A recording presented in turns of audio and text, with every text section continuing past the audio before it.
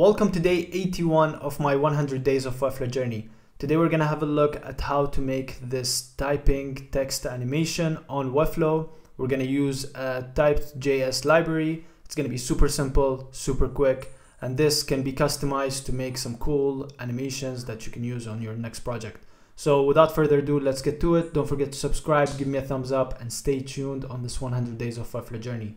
Let's go. Today we're gonna have a look at how to make the typing text effect on this title here. So we're gonna make this to be like a typewriter animation. I don't know what you call it. And it's gonna change to different words. So it's gonna be developer, designer, and so on and so forth. So let's have a look at how to do that. We're gonna first change this um, class. So let's duplicate this class. No, let's not remove it. Let's duplicate it and call this typing text, for example. Of course, you can name this anything you want, but we're going to refer to it as typing text. Uh, I'm just going to give it a height of, let's say, 7 rems. Um, no, maybe more. Yeah, maybe like 9 rems.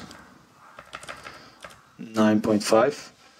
So giving it a height because it's going to like I said, it's gonna go out and it go back in. It's like a typewriter. So when it goes out, it's gonna lose its height. So if, if I give it a height, it's just gonna keep that space. Uh, and now I'm gonna use some custom code. What we're gonna use is this library here. So this library is called uh, typed.js. So you can look for it. And I think there's a page for explaining it. So it's by Matt Boldt. Boldt and uh, basically you can go to this page and you can read more about it but this is the github repository. So you can find out more about this here. Uh, what we need is the cdn so we're gonna call this library. So let's paste this here and the page settings of our Webflow project. And then we're gonna basically call the elements. So what it's doing here, it's naming an ID, calling it an, naming an element with an ID element, and then it's calling it back here. Uh, I've already prepared something, so I'm just going to copy that. And um, basically, let's just go here.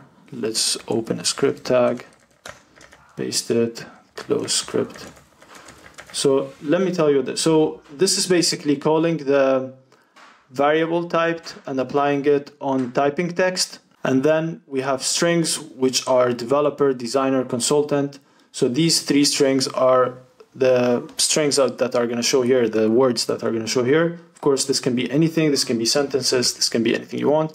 Uh, I'm setting up the speed to be 50, the back speed to be 50. So, you know, the, the speed that which is deleting the, the words, the letters uh, loop to be true and uh, perhaps if I want more features, more functions, you can go back to the GitHub repository, to the docs, and you can see there are many different uh, options that you can add, bulk typing, smart backspaces, type posing, uh, and so on and so forth. You can customize it, uh, fade in, fade out, cursor. So for example, the cursor, I might use that one. So let's, let's actually have a look at this first.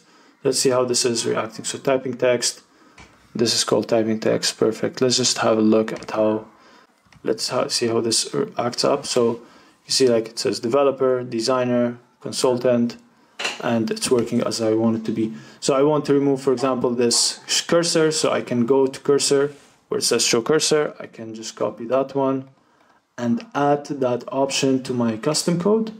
So we can go here, add that option. I want this to be false because I don't want to show the cursor. So let's publish that and see how this looks. Um, okay, let's refresh. So this is better. So your ultimate workflow designer, developer, consultant, and this keeps changing as you can see.